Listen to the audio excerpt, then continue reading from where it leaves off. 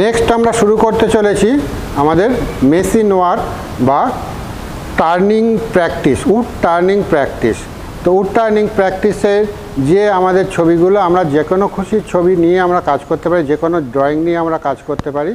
এটা খুব interesting job কাজটা যদি ঠিক ঠিকভাবে করা যায়, খুব ইন্টারেস্টিং জব এবং খুব ইজি মনে হয় কাজটা শিখতে পারলে, তো আমরা এই জবটা শুরু করতে চলেছি। আমরা মেশিনে দেখাবো মেশিনে কীভাবে করা যায়।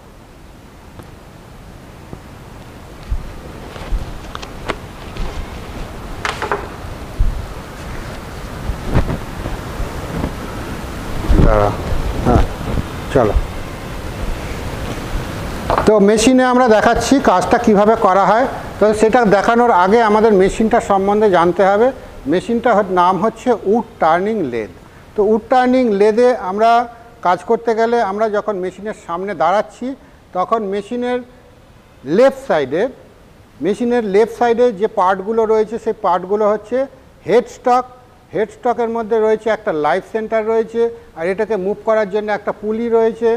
নেক্সট হচ্ছে রাইট সাইডে রয়েছে আমাদের টেল স্টক টেল স্টকে রয়েছে একটা ডেট সেন্টার এবং ডেড সেন্টারটাকে অ্যাডজাস্ট করার জন্য জবটাকে হোল্ড করার জন্য একটা হুইল রয়েছে হ্যান্ড হুইল এইটাকে ঘুরিয়ে ডেট সেন্টারটাকে আপ ডাউন করানো হয়, এবং যখন জবটা হোল্ড হয়ে যায়, তখন এই লিভারটার মাধ্যমে জবটাকে হুইলটাকে বা ডেড সেন্টারটাকে লক করে দেওয়া হয়, যাতে এটা আমাদের জবটা যাতে স্লিপ হয়ে মেশিন থেকে বেরিয়ে না যায়। তো আমরা আর রয়েছে একটা টুল পোস্ট টুল পোস্ট এবং তার ওপরে রয়েছে টুল রেস্ট এর ওপরেই আমরা টুলটাকে রেস্ট করে আমরা এই অপারেশনটাকে করব। তো কীভাবে করতে হবে? প্রথমে আমাদের এই জবটা করতে গেলে আমরা একটা আমাদের অ্যাকর্ডিং টু ড্রয়িং আমরা যে ড্রয়িংগুলো আমাদের রয়েছে তার থেকে আমরা একটা সিলেকশন করে নিয়েছি। যে আমাদের জবটা হবে লেগ অফ ক্যাবিনেট তো লেগ অফ ক্যাবিনেট করতে গেলে আমাদের মেটেরিয়াল লাগছে একশো আশি মিলিমিটার যা হাইট তো সেই অনুযায়ী আমরা মেটেরিয়াল নিয়েছি এবং মেটেরিয়ালটা অবশ্যই স্কোয়ার মেটেরিয়াল হতে হবে। টার্নিং অপারেশন করতে গেলে স্কোয়ার মেটেরিয়াল অবশ্যই দরকার। তো স্কোয়ার মেটেরিয়াল আমরা কেটে নিয়েছি সাইজ মতন এবং এটাকে মার্কিং করার জন্য আমরা ডায়াগোনাল সেন্টার আমরা করে নেব। সেই ডায়াগোনাল সেন্টার করার পরে আমরা মেশিনটাকে মেশিনে জবটাকে হোল্ড করব।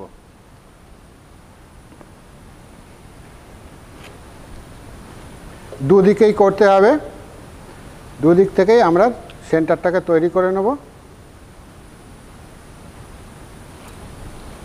সেন্টার আমরা পয়েন্ট পেয়ে গেছি। এইটা আমরা এবার জবটাকে এখানে হোল্ড করে দেবো মেশিনের মধ্যে। দুটো সেন্টার পয়েন্টে।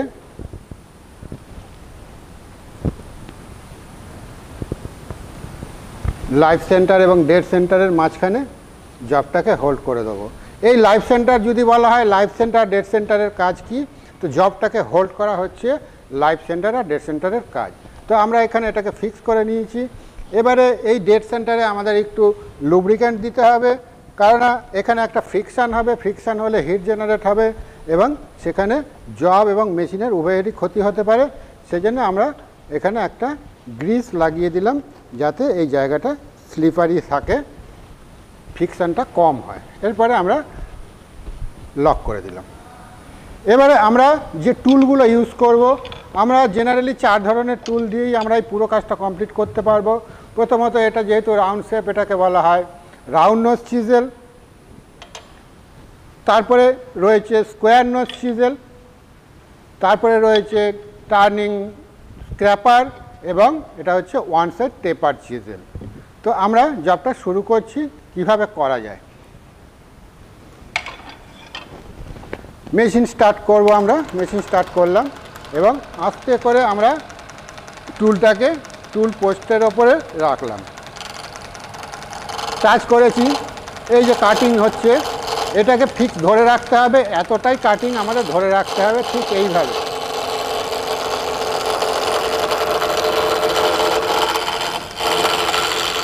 আবার ব্যাকে নিয়ে আসতে পারি। যদি ব্যাকে না আনতে পারি, আমরা আবার শুরু করব এখান থেকে।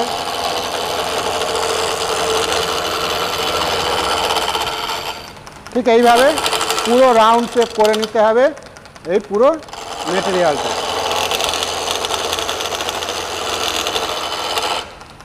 তো আমি একটু অল্প জায়গা দেখি কীরকমভাবে রাউন্ড শেপটা হয়।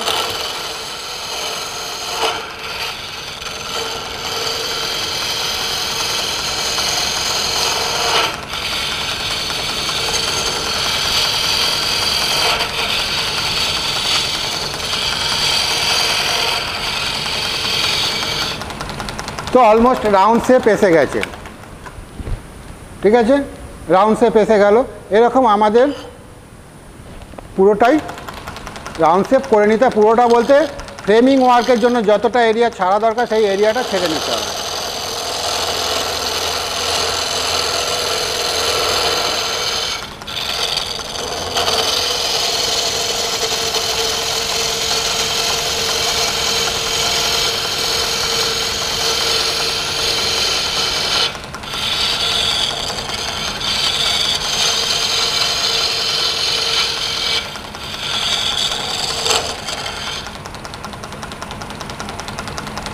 আমাদের প্রায় রাউন্ড শেপ এসে গেছে। এবারে আমরা এটাকে প্রেস করে নিই।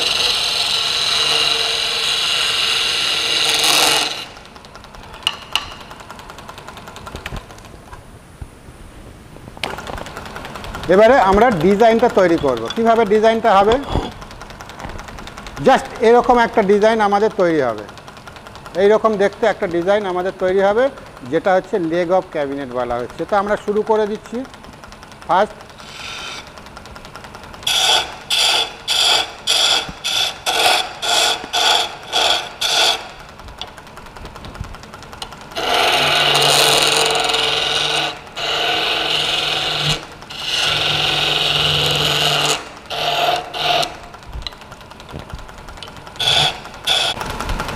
তো আমরা যে ডিজাইনটা তৈরি করব, সেই ডিজাইনটা আমরা সাধারণত চোখে দেখেই করা হয়।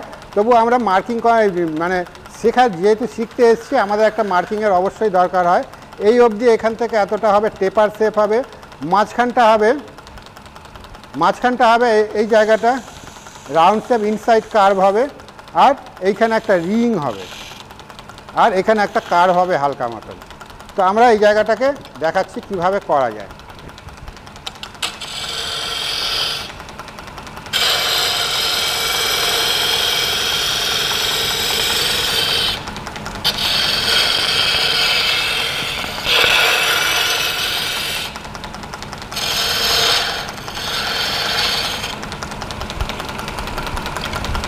এখানে একটা রিং সেই রিংটাকে বার করে দিই।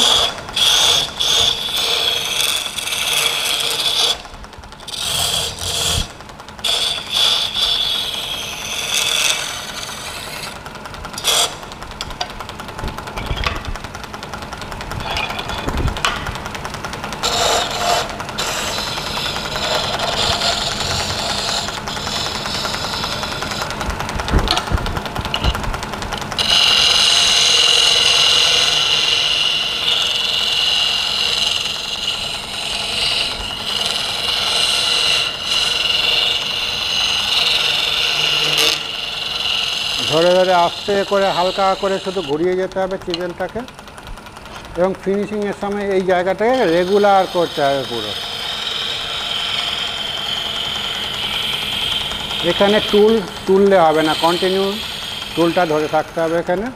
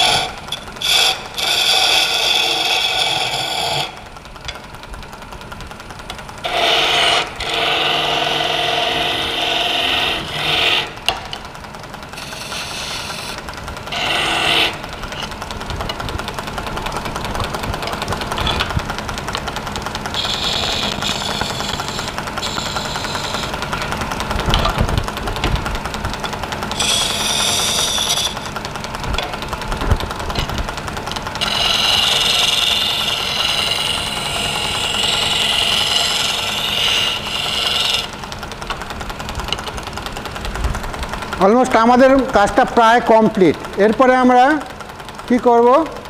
আমরা একটু দেখতে সুন্দর হওয়ার জন্যে আমরা এখানে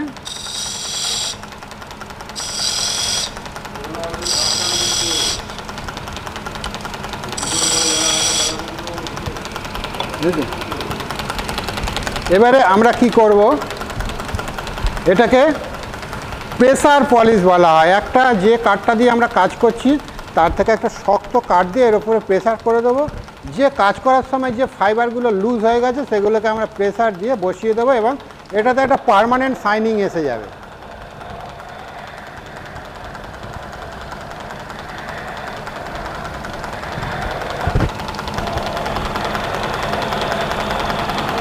এই পলিশটা এই পারমানেন্ট শাইনিংটা পারমানেন্ট থেকেই যাবে এর মধ্যে। এরপরে যখন আমরা পেন্ট বা পলিশ করব। সাধারণত পলিশ যদি করা হয়, এই শাইনিংটা আরও ব্রাইট হয়ে যাবে।